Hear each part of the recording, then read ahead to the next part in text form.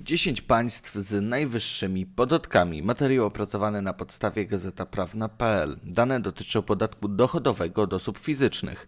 W Polsce dla osób, które zarobiły mniej niż 85 528 zł w ciągu roku, podatek dochodowy wynosi 18% tej podstawy minus 556 zł i 2 grosze. Oczywiście trzeba zaznaczyć, że w wielu państwach, tak jak w Polsce, są różne stopy podatkowe. My skupimy się na tych najwyższych. Jak jest w takim razie w innych państwach? Kanada. Kanada, jako jedno z najbogatszych państw świata dzięki wysokiemu dochodowi, jest członkiem Organizacji Współpracy Gospodarczej i Rozwoju oraz grupy krajów G7.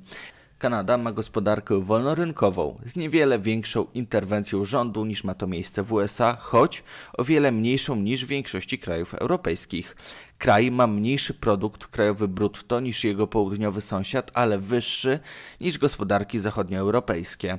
W ostatniej dekadzie kanadyjską gospodarkę cechował szybki wzrost, niskie bezrobocie i wysokie nadwyżki budżetowe na szczeblu federalnym. Dzisiejsza gospodarka Kanady bardzo przypomina amerykańską w organizacji na wolny rynek, wzorach produkcyjnych oraz wysokim standardzie życia.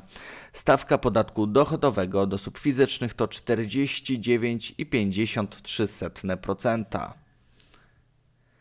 Austria. W Austrii funkcjonuje społeczna gospodarka rynkowa. Podatki stanowią 43% PKB, co jest poziomem nieco niższym niż w krajach skandynawskich. PKB per capita w 2006 roku wynosiło nominalnie 38 961 dolarów, a po zmierzeniu parytetem siły nabywczej 36 031 dolarów stawiając Austrię w światowej czołówce pod tym względem. Bezrobocie w zależności od metody liczenia wynosi od 4,4% do 6,8%. Stawka podatku dochodowego od osób fizycznych to 50%.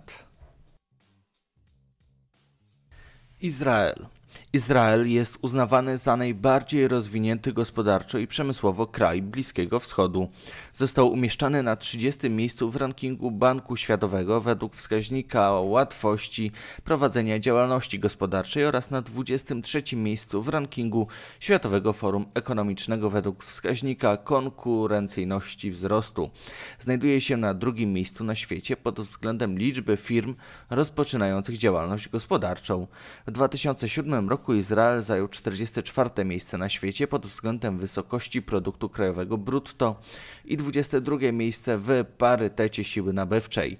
W 2007 roku Izrael zaproszono do przystąpienia do Organizacji Współpracy Gospodarczej i Rozwoju, która propaguje współpracę między państwami przestrzegającymi zasad demokracji i wolnego rynku. Stawka podatku dochodowego od osób fizycznych to 50%.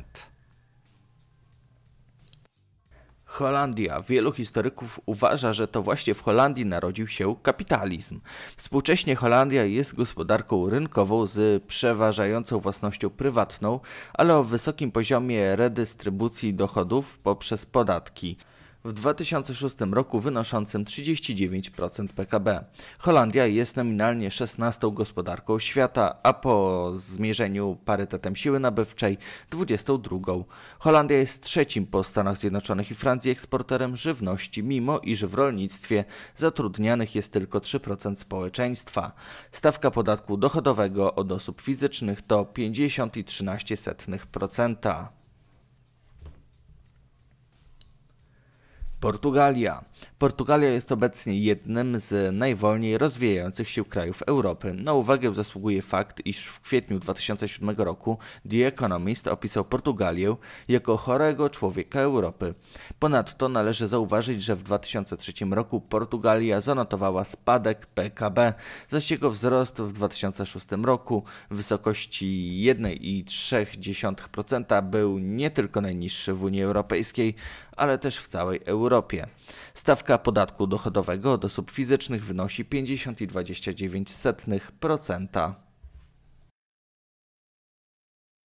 Japonia. Tak zwana mydlana bańka gospodarcza pękła w 1991 roku, kiedy załamaniu uległ japoński rynek papierów wartościowych, tracąc połowę swojej wartości, a nękane problemami banki japońskie podniosły stopy procentowe.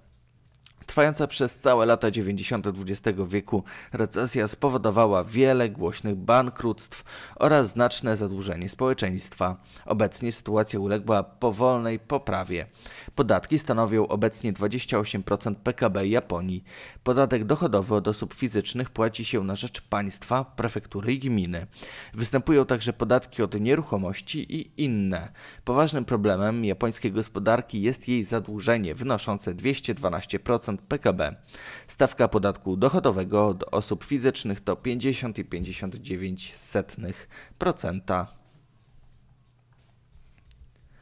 Hiszpania do lat 60. ubiegłego stulecia Hiszpania była jednym z najuboższych krajów Europy Zachodniej. Masowy napływ turystów spowodował wielki wzrost inwestycji i napływ kapitału zagranicznego, który wzmógł się jeszcze po przystąpieniu do Unii Europejskiej. Hiszpania była przez ostatnie pół wieku jednym z najszybciej rozwijających się gospodarczo państw Europy. Hiszpania jest znaczącym uczestnikiem handlu zagranicznego. Wielkie banki mają swoje siedziby głównie w Madrycie, w Barcelonie czy Bilbao. W gospodarce Hiszpanii Hiszpanii bardzo dużą rolę odgrywa obcy kapitał zagraniczny, głównie inwestycje amerykańskie, brytyjskie i francuskie. To właśnie one doprowadziły do szybkiego uprzemysłowienia Hiszpanii. Stawka podatku dochodowego od osób fizycznych wynosi 52%.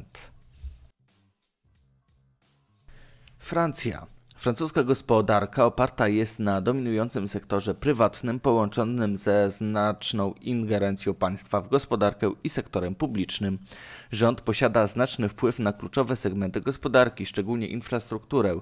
Posiada większościowe udziały w przedsiębiorstwach kolejowych, lotniczych, energetycznych oraz telekomunikacyjnych.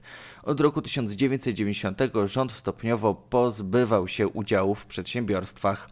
Obecnie następuje powolna prywatyzacja. W 2012 roku parlament Francji uchwalił symboliczny podatek o wysokości 75% od najwyższych dochodów. Wielu bogaczy wtedy uciekło do rajów podatkowych, czy też innych państw, w których też były wysokie podatki, ale nie aż tak. Sam podatek na kilka dni przed wprowadzeniem francuski Trybunał Konstytucyjny unieważnił jako niesprawiedliwy.